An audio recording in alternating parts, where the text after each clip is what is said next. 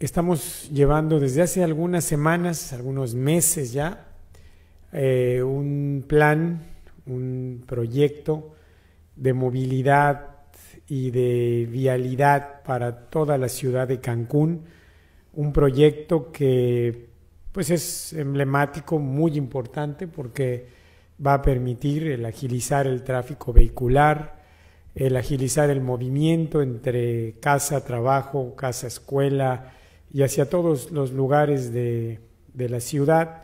Un proyecto que mejore eh, el entorno de todas estas avenidas, de estas calles, semaforización, eh, alumbrado público. Es un proyecto muy ambicioso. Viene avanzando en coordinación con el gobierno federal, con la SEDATU y con la propia presidencia de la República. Llevamos un proyecto también de que desde hace varios meses que le hemos llamado el Parque de la Equidad.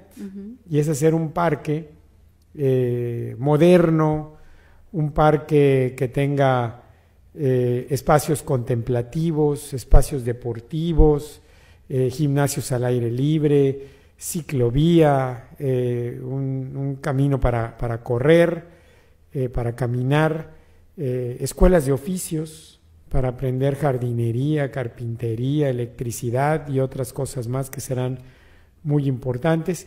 Es una inversión de más de 3 mil millones de pesos en tres años. y estamos en ese camino de poder llevarlo a cabo. Juntos saldremos adelante.